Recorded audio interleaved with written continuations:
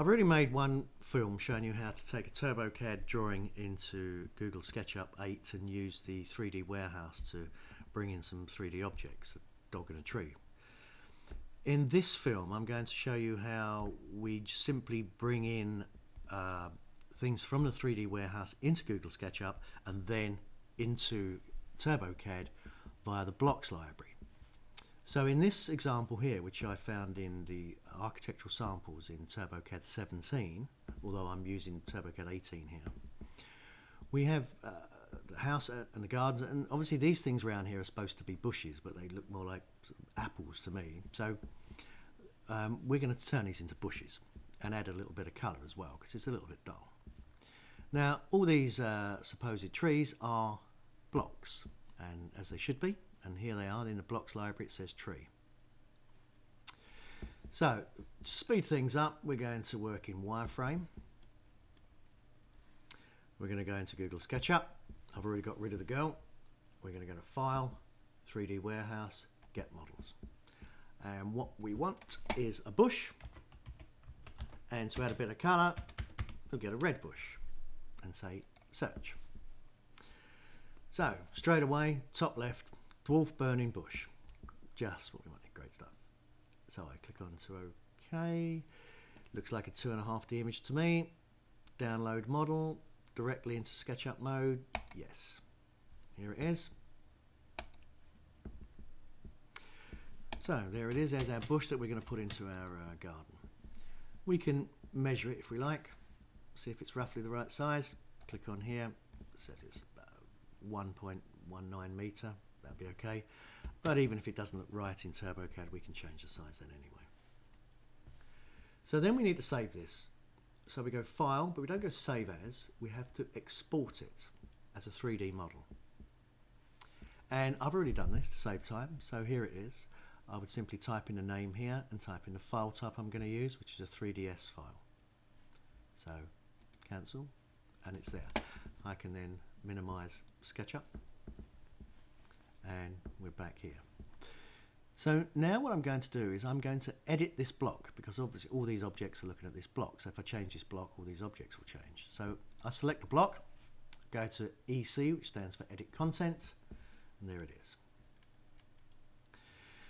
The first thing I see is I don't really like what I'm seeing here because I don't know where the work plane is. I don't like this, the, the grid just doesn't look right to me. So I'm going to create a uh, a box so I can relocate the work plane.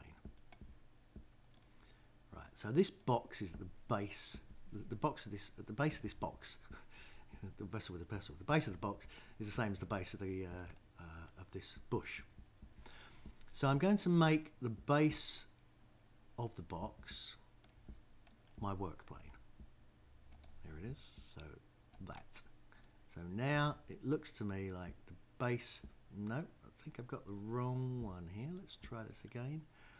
Uh, it's that one there. That's it. That's it. The base. Right. Sometimes a little bit difficult to see. So the the work plane that this this uh, bush is sitting on is on the base of the bush. Now and I know what relationship the size of this bush is to that box. So now I'm going to bring in via external references the bush that I've already saved.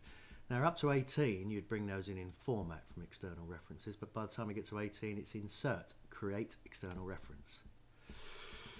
So the external reference I saved in my documents and as a 3ds file and uh, there it is red bush.